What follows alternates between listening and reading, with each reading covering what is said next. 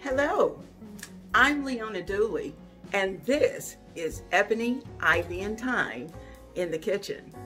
And in the kitchen this week, we are going to be making some things that are beautiful, and we're going to be preparing a delicious meal for your family. So, in our kitchen, we're going to be loving on our friends and family.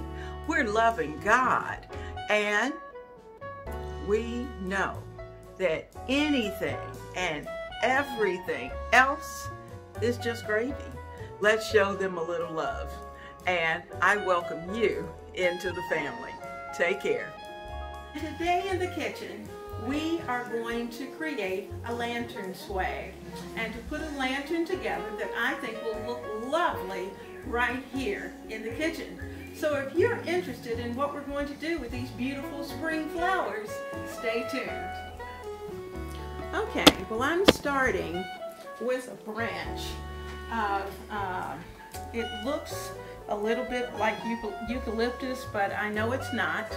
But I'm starting with this greenery to be, and I've left it pretty long. I did trim it just a bit, and I'm going to kind of round it out a bit because it's going to need to drape over this lantern. And actually, I can use it on just about any lantern. Now, next, I want to be able to add some additional items to it. So for instance, I want a little bit of lavender and what I'm going to do is to take a little fine, uh, very tiny zip tie and I am going to zip tie this securely to this branch. I'm using a small black zip tie so that it will be uh, will not be so easily seen. And I've trimmed this particular bunch. This was a bunch that I got from Walmart. I trimmed it so that I could uh, just have the number of little branches that I wanted it to have. Okay, now it's a part of what we're looking at. Now you have to remember the swag is going to hang this way. So let's we have secured it so I can actually work with it. I can pull things apart and since it's wired, I can move the pieces and that will enable me to see all of the different parts of this particular swag. Now I also know we need a little bit of white. The good thing about white is that it helps to lighten and brighten your arrangement. So I'm going to lay this in not exactly sure where I'm going to keep it, but we need a little bit of white. So I'm going to put this in, and I am going to take another zip tie, and I'm going to secure it, secure this as well. And when you do each one like this, it allows you, first of all, to make sure that that particular item is where you want it and that it's tight enough. So I am typing this.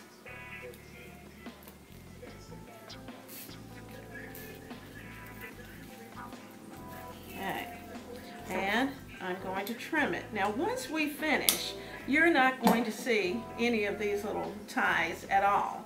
Now I'm not going to do a lot of rearranging at this point because what's going to happen, once the main flowers go in, you're going to go, hmm, okay, I hadn't realized we wouldn't be able to see any of that. Now, I have a nice large peony, and that peony is going to need to be able to peek up from hanging down on the swag like this. So, I have to decide exactly where and how far down I want that peony to go. Now, do I want it close to where the ribbon's going to be or do I want it farther down? I think I'm going to make it kind of a mid-range. So I'm going to secure that peony. And, you know, with all of these things being wired, we can move and adjust along the way. So that's what I'm doing, is that I'm enabling myself to be able to make adjustments twist and pull and to put things where I want them to be. So I am attaching the peony and I'm not going to secure it totally down tight because I do want it to turn a particular way. So I'm kind of settling it in between the branches and then its adjustment won't be so difficult. So I can, it is a heavy wire, so I can play with that once we get it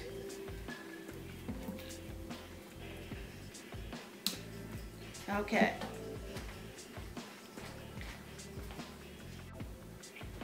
Okay, so we have our peony secured and I will tighten it down a little more after we get more of the items onto this main branch. Now, I think with it being spring, I want a few uh, tulips. And uh, what I'm going to do is that I'm going to play with their placement. I have some red ones. I have a little peach one. And I have left these together purposely because I want to work them in with the peony so it looks like they're all in a grouping together and uh, I think I like that let me see what I got now if I wanted to add another I could actually add another pink into the mix but I'm not going to do that right now so I'm going to place these little uh, tulips in. I'm going to scoot them down just a little so that they're more toward the bottom. Because like I said, this swag does swag. That means it hangs down. And we're going to need to uh, have it in such a position that we can play with each of them. So I'm going to put this in.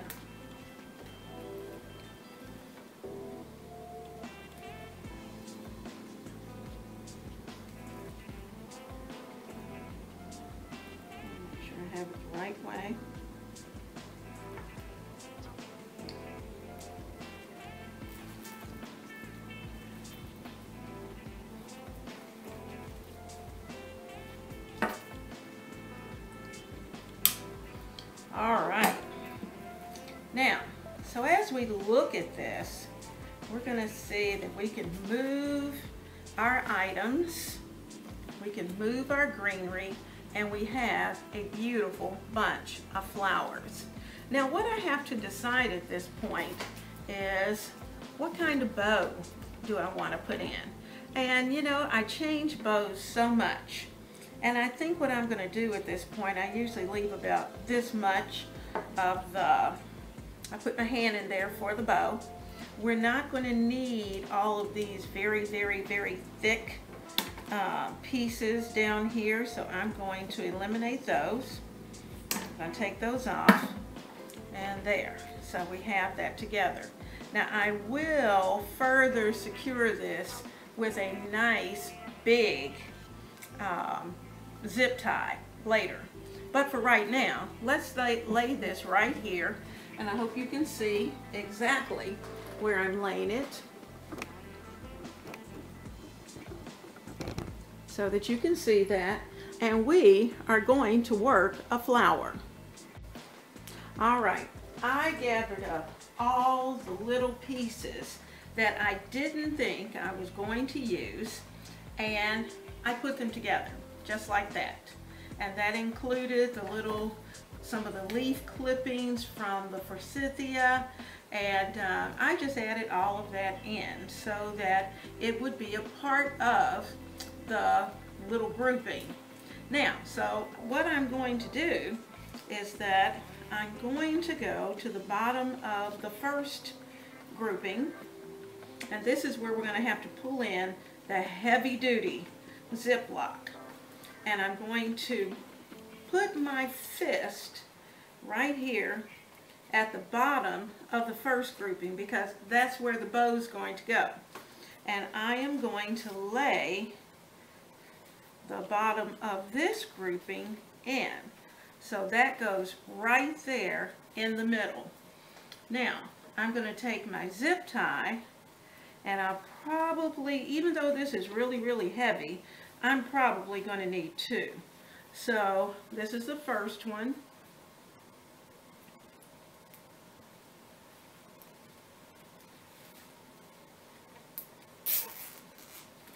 And that's the first one, kind of place it where you want it and however you want that to turn. I think I'm going to turn it this way, right there. And then I'm going to lock it down.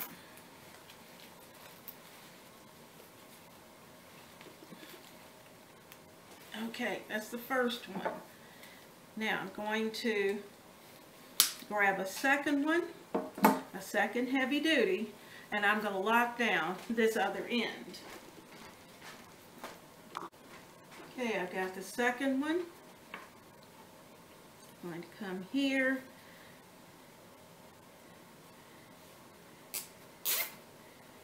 And I am going to tug and tug and tug and tug until there's not a not any movement whatsoever.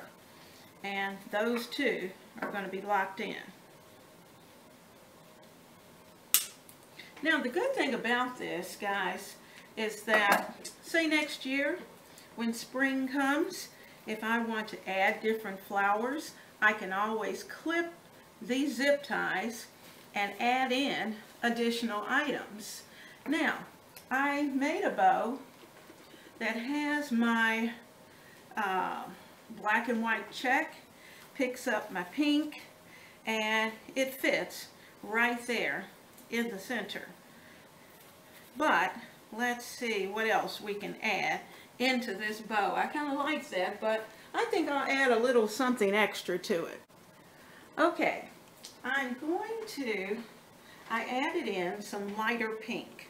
And once we start to work all of this in together, you're going to see that uh, the light pinks of the tulips and the peonies are just going to pick up. But before I do that, I'm going to flip it over so you can see on the back. I worked in a zip tie because what I'm going to do is I'm going to flip this over and I am going to zip tie this to my swag. So let me find the other end.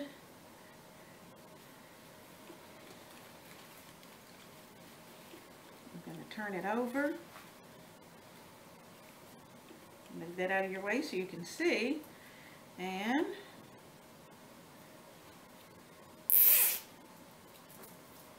This is a large, heavy duty zip tie. And I am going to zip tie this as tight as I can to the swag. Alright. Now, I'm going to turn it over because that's what you're really going to see when it's all said and done. And I'm going to be, I'm going to fluff, fluff, fluff. I'm going to pull those pinks in between. So we have lots of black, we have lots of pink, but we have a swag in process that is going to be going on top of a black lantern.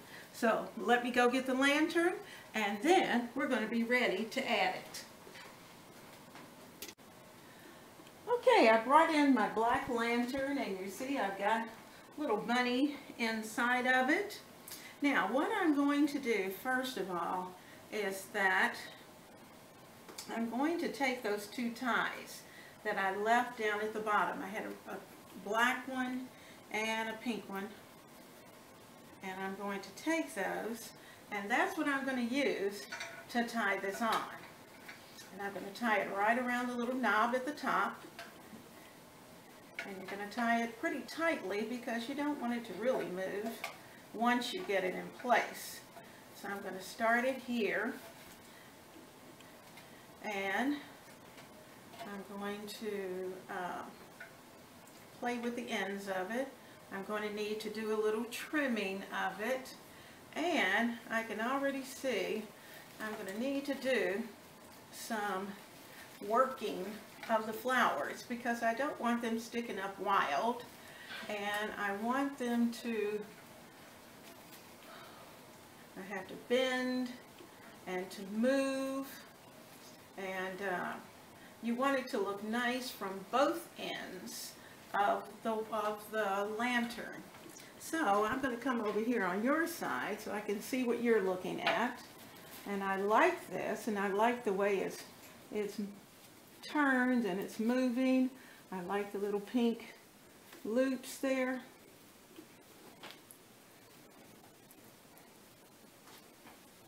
That black and white here, little pink loops there. And remember, I'm looking at it from several standpoints, not just looking at it from a visual standpoint of this is where the lantern is. I want some of those tulips to show. I want some of the, I want it to look like the wind is blowing and moving my pieces.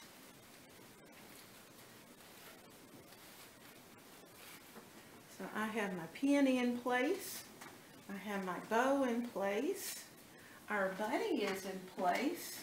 And now I think I can go to the back and I can actually tie a nice bow. So let's get that part done. And I think I'll try to do, may do each one individually, each of the colors. Okay. So, I'm going to work on that from the back. My loop is in the way. A little loop from the lantern. And this is a little Walmart lantern. And I tell you what, it works in everywhere. Because it's so neutral, because it does not have glass, and it's open, you can put anything inside of it and uh, give it a cute finish look.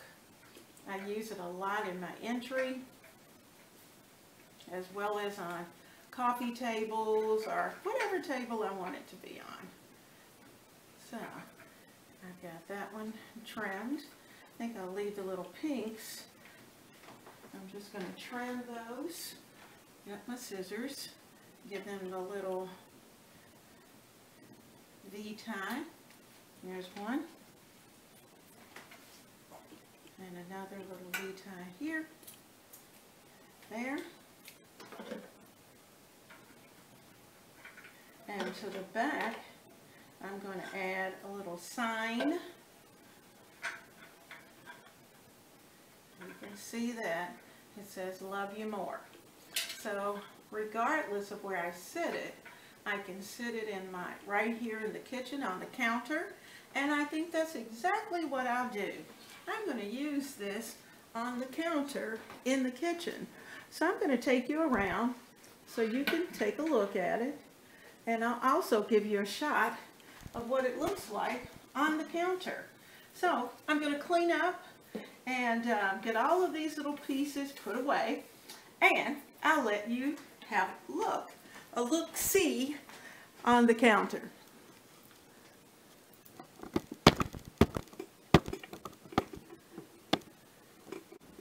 Now because this is on a black uh, counter of granite. It may not be quite as easy to see as I'm thinking it should be, but we're going to try it anyway. And uh, I'm going to uh, try to get you in, try to get you close, where you can see this lantern. It shows up so pretty. And uh, I don't know how smoothly, there we go, that we can get a good look at it. You can see our peony. You can see how the pinks and the, the um, baby's breath just kind of brings out the colors. There's a little bit of spring forsythia. We've got in our black and white as well as this pink dotted Swiss that is just setting things off because it brings in the peony as well as the tulips. And so I'm very, very happy and my counter is ready for spring. Now I don't know if you noticed that in the background I have a picture that's back there and that's kind of our tech center, but mainly for the grandkids. The grandkids use this television all the time. And let's see if I can bring it in. But I have a little picture that I keep there when uh, they are not here. It says, just when I thought my life was all organized, I became a grandmother. And of course you can see that it's outlined in the black and white check with those pink peonies as well. And uh, I think the two of them together just look absolutely wonderful. So I'm gonna see if I can back up, give you a little better shot. There's our bunny. And uh,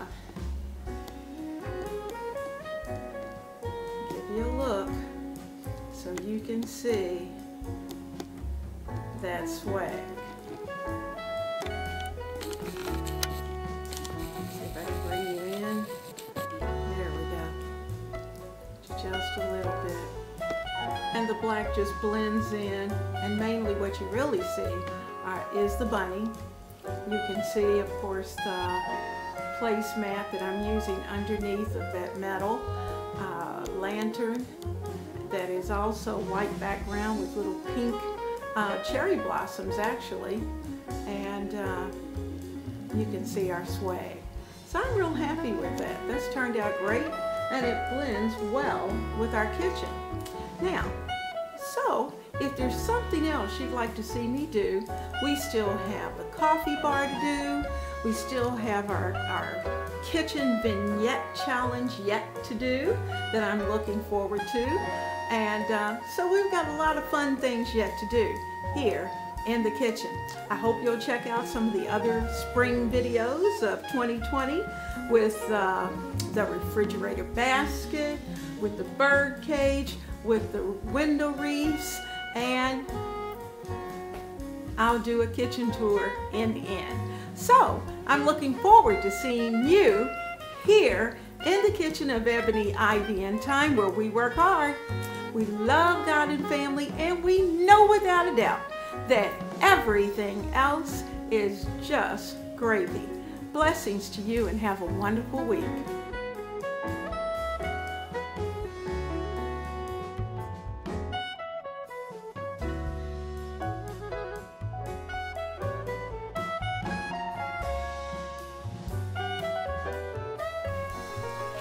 I am so glad that you took time today to stop by the kitchen. It's a rainy, yucky day today, and um, certainly we want to be able to do things that are more fun, bring us sunshine on a cloudy day. So I decided to do this lantern. And you know what? Having you here in the kitchen with me was very special. So I hope you have an absolutely wonderful week. I hope you go home and try this, this lantern swag and to bring some sun